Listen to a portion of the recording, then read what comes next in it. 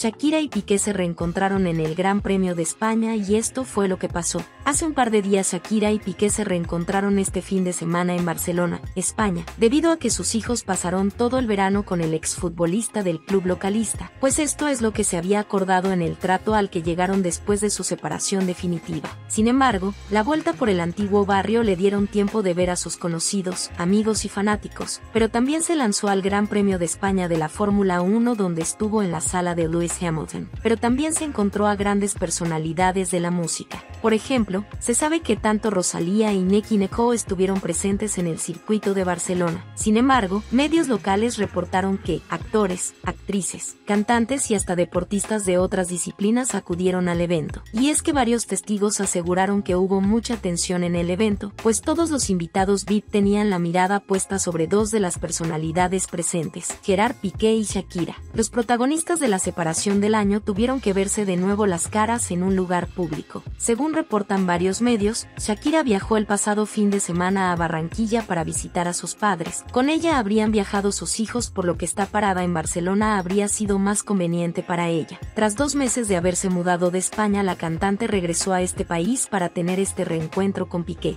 Sin embargo, se dice que la fuerte razón tiene que ver con que quieren terminar algunas negociaciones legales que quedaron pendientes. Curiosamente, coincide con el primer aniversario desde que anunciaron que romperían el matrimonio definitivamente, y comenzaron con una serie de dimes y diretes, de reclamos, de canciones y mensajes en doble sentido, el cual el rompimiento se dio a través de un comunicado. En estos momentos Shakira ha retomado su carrera musical al 100%, y tal parece que ya prepara un nuevo disco, y una de sus primeras canciones originales fue acróstico, pero también hizo algunas buenísimas colaboraciones que han roto récords de streaming. La más famosas de ellas fue una sesión con Bizarrap que muy pocos o casi nadie esperábamos. Fue un ataque directo y a la yugular en contra de Gerard Piqué, mientras el segundo acto fue junto a Carol G con el tema TQG. Por su parte, Piqué ha sido más discreto en cuanto a su trabajo. Por ahora solamente quiere estar en un solo proyecto, y enfoca toda su atención en ello. Se trata de la Kings League y de la Queen League, dos torneos de fútbol alternativos donde participan varias personalidades del Internet.